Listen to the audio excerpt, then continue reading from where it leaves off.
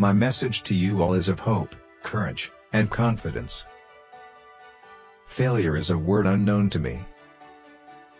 Expect the best, prepare for the worst.